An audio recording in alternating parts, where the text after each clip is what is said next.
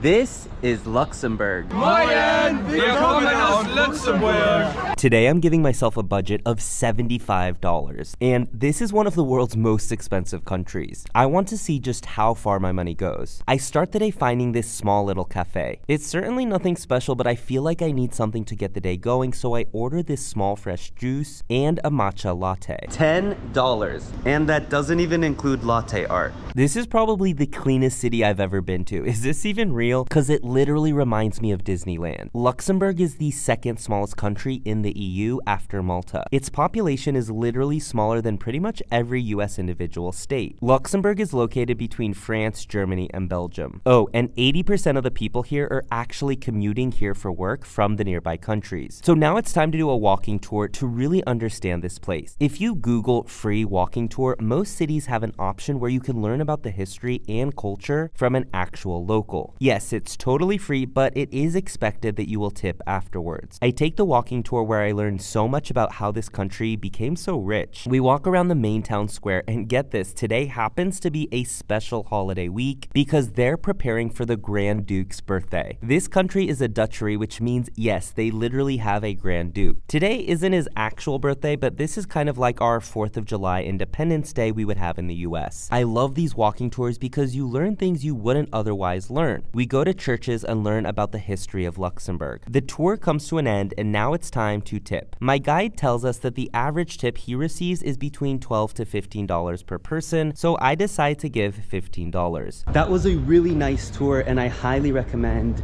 uh, doing the free walking tours, especially if you're new to a place. I've done them from Europe to South America and you learn so much uh, about a place from a local. They're very simple. You could sign up literally an hour before and it's amazing. But now now it's time to go for lunch because I am quite hungry. He recommended a couple restaurants, so I'm gonna go check one out. But I learned here that kitchens actually usually close at 2 p.m. because they send the chefs home. So I better act fast. I find this local restaurant that is still serving. So I finally found a restaurant, and what was interesting is the tour guide suggested three local food restaurants. Two of them were closed uh, because the kitchen closes at 2 p.m. and the third one was open luckily, but it's less than half full.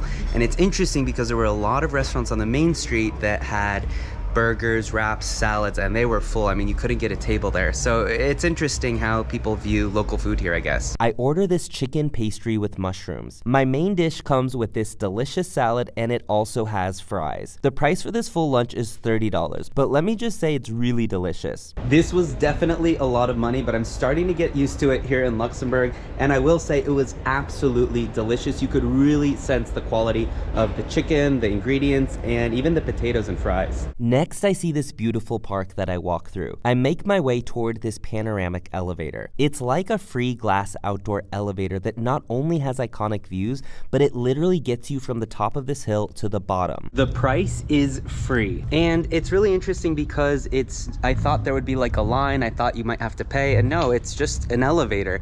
And it's, there's nobody working there, there's, it's just you take an elevator, and it's obviously a lot of tourists, but it's not just used for a tourist attraction, it's actually used to get from the top of the hill to the bottom. So even locals are using that regularly. I also find this pretty interesting. You have a beautifully designed public bathroom. And as an American, I'm so not used to seeing uh, public toilets available like this, especially so clean and modern. I walk some more and get a bit lost. Everyone is setting up for massive parties tonight to celebrate their public holiday. Next, I make my way back to the main square where they're getting ready for a changing of the guard ceremony. I go to the House of Chocolate, which apparently is like a famous dessert place here. You pick your chocolate on a stick first, then they bring you heated milk, and then you mix your chocolate into the milk until it dissolves and basically becomes hot chocolate. Like in the Christmas movie it tastes so delicious and the price is $5. Next, I go rest a bit because everyone says there is going to be a lot of events and parties tonight. I randomly happened to be here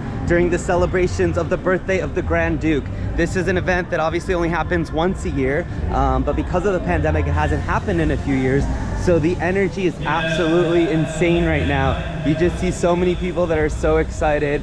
Uh, to party and there's fireworks later, so let's go check it out. Everyone's setting up, so it's time to check things out as the festivities get underway. I'm feeling hungry and I meet some cool Lebanese expats who are living here in Luxembourg. Together we enjoy all the crowds and festivities where you have so many people coming together to eat and celebrate the event. I get a hot dog because that's just what they seem to be eating here even though I totally don't usually eat them. $5.